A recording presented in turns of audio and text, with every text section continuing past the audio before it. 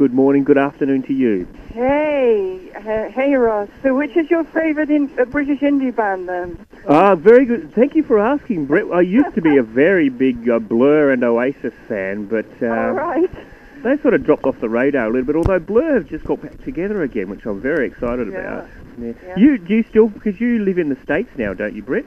Yes, I live in, in Santa Monica, Mhm. um, California. But I go, you know, I go to England quite a bit because my son's there, and in fact, I just got a brand new baby girl granddaughter. Oh wow! and is she a Thomas the Tank Engine fan? well, she's only just a week old. Oh, so she's a bit too. It's a bit like my one-year-old at the moment, a little bit too young yet to uh, to fully comprehend, I suppose. yeah. Britt, can you believe it's 25 years since it first appeared on TV? You know, I, when I heard that you you wanted to do this, I sort of can and I can't. You know, on the one hand, it's so much has happened, but um, in some ways, it just you know you blink your eyes and Yeah. I'm right back there. Take me back, take me back, Britt, 25 years ago. Although, well, in fact, uh, it was a few years before that, wasn't it, when you first Yeah. toyed with the idea? How did it come about? Okay. Well, I was actually making a little documentary about the British love affair with steam trains. You know, big, uh, real in quotes steam trains. Hmm. And um, during my research, I came across uh, an article about the Reverend Wilbert Awdry and uh, his creation from the 1940s, because Thomas, in book form, the re- you know, which was the Railway series of books, um, I'd never, I'd never seen them when I was little myself, because they weren't, they weren't really that well known. Mm-hmm. Um, and um, anyway, we we got chatting, and I and I looked at these little books. At that time, there were just 26 of these very small books with very simple text and just beautiful watercolor paintings for illustrations. And I said to him, you know, I really would love to bring these to life. Yeah. And um, little did I know, and that can you believe that was actually 1979. Mm. So we're talking my- we're talking 30 years ago now. Yep. Y- yep. Yeah, and my own kids were, were really tiny. Um, and that's how it began. And it, it's hard probably to imagine now, but it was it was pretty hard.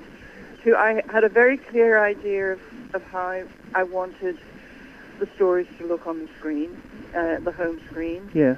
Um, and I, it- was tough to raise the money, really tough, because I wanted to make them as beautifully as I could. Of course. Um, and that nothing like that usually comes cheap. No. Um, So, ha- so how did you go about it, Britt? How did you go about raising the money? I suppose it's just going, walking and knocking on doors and saying, I've got this wonderful idea. all sorts of directions, and a lot of it would have meant, um, you know, losing complete creative control and all that. And I, I they were really sort of like a, you know, I was making a present for little children. Um, so I wanted to be sure that I could make them the way I wanted to make them. Yeah. And eventually, um, we got the money from my local bank, but we had to mortgage everything along the way, not the least um, the house. Mm. And um, it also took about three years, I guess, to find the right team who could bring to life what was in my head. And I, I looked at lots of different forms of animation. And then someone said to me, you know, there's a guy who's doing a lot of commercials, and he's got a yogurt commercial on at the moment. I said, what's that got to do with, you know, steam trains? But I actually looked at this commercial, and I met him, and of course it turned out to be David Mitton, who became my um, long-term collaborator. Yeah, yeah. Thomas. And we shot Thomas eventually in what's called live action model animation throughout, you know, the classic series of the first one, 130 films. Because, uh, Britt, it would seem to me, uh, I'm a novice in this area, obviously, but there would have been much easier ways to shoot it, much easier ways to do the animation than, than how you eventually did it. Uh, probably. Um, I just knew that that what what I cared about was was that uh, little children who were sitting at, at home, maybe on their own, or maybe with the, with one of the family, or maybe a carer, or whatever, would really feel that this world existed. The island of Yes. Sodor and all these steam trains and, and Bertie and so on. And that they could be there, that they could go there. And so this idea of a almost like a three, you know, a three-dimensional world that had um, a fantasy but also a reality mixed up in it. That was what I needed, and certainly in those days CGI was in its infancy, and I found it very cold. Um, Yes. it didn't have the soul. Yeah. Uh, and so coming up with this idea, well, what we'll do is we'll have real little trains puffing along and we'll shoot them in real time. It gave us some discipline, uh, like if we were going to do that, then characters like the Fat Controller Mm. um, would not move in that way. But the wonderful thing was that children's imagination was what I was all about, giving them space for their imagination, that they could sit there and watch these stories, and at the same time, there would be enough freedom in these stories for little kids to use their imagination.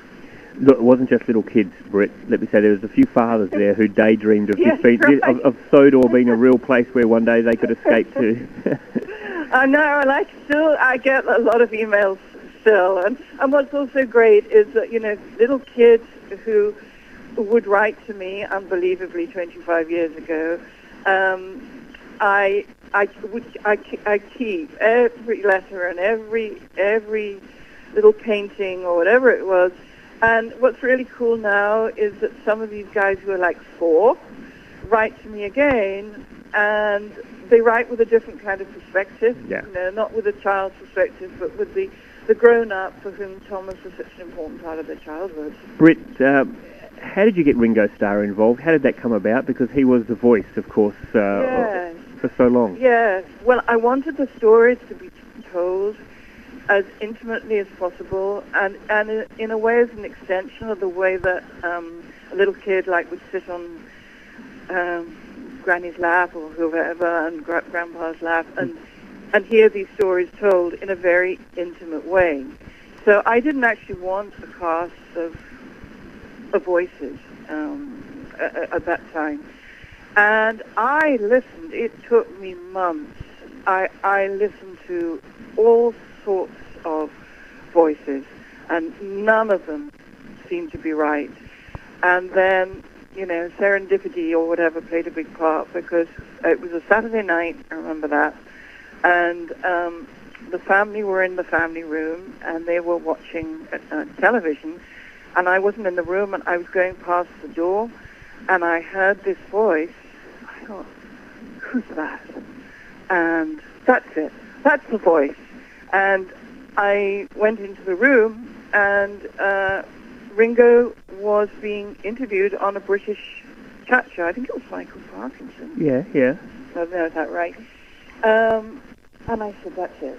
That's it. It's Ringo.